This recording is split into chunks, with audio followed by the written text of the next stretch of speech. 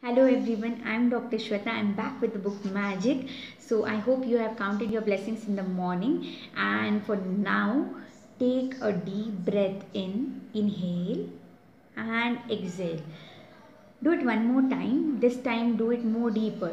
So inhale and exhale. Isn't that amazing? Did it cause you any kind of efforts?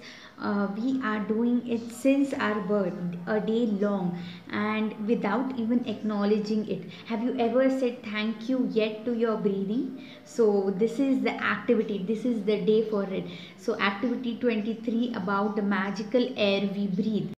The title says it all. We are going to be grateful for the air we breathe. Rhonda Bryan states that we can start with feeling grateful about the planet Earth. It's the only planet in the solar system or in the galaxy which sustains life. All the trees producing oxygen and our body taking in that particular oxygen and adapting to it in a very beautiful way so be thankful that you can breathe. You um, in fact be thankful that you are in the atmosphere that allows you to breathe. Uh, say suppose you are out of this atmosphere you won't live.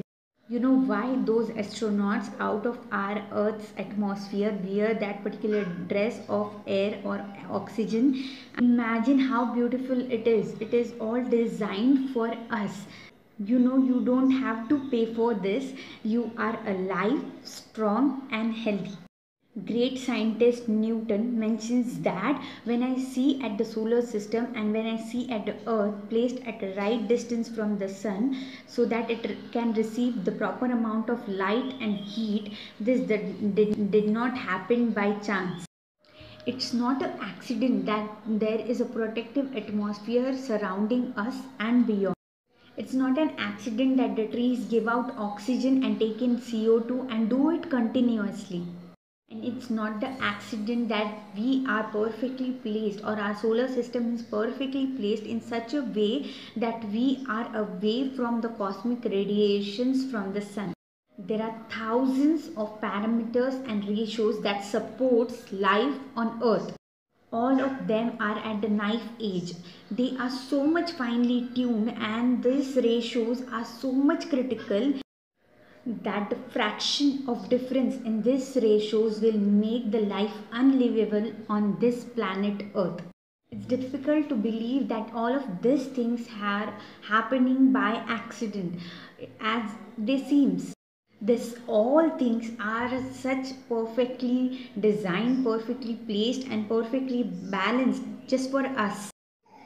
The author Rhonda Bryan mentions that when she started being grateful for the most important things in life, like the air, the ocean, the morning dews, and um, food and water, and life itself, felt the ultimate power of gratitude happening or playing role in her life or making magic in her life.